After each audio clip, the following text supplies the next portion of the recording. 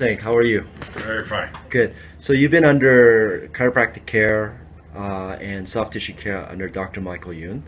And what what would you say your experiences experiences were under his treatment?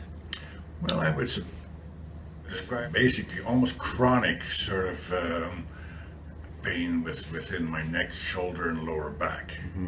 And being somewhat skeptical, I into the thing and suggested that a series of um, treatments would uh, help. And initially, there was some uh, some really good improvement, and it varied back and forth. Uh, but overall, I would say uh, it was very positive.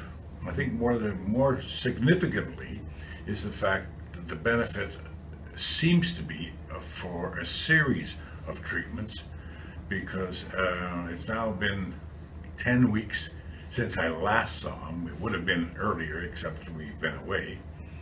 Is that uh, once again, certain activities, yes, will cause me some discomfort, not nearly what it used to be. Second of all, is that the, the discomfort after, uh, for instance, shoveling snow, next day I'm fine again. That would not have happened before. That's fantastic. So you're a lot more stronger Yes. and more stable.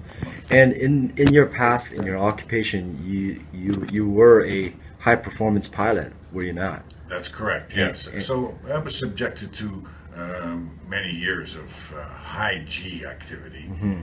uh, which definitely can play havoc on your lower back. Because generally speaking, you know, my, my height Mm-hmm. uh, is in my uh, is in my torso, so Mm-hmm. therefore that would put a lot more strain in that portion.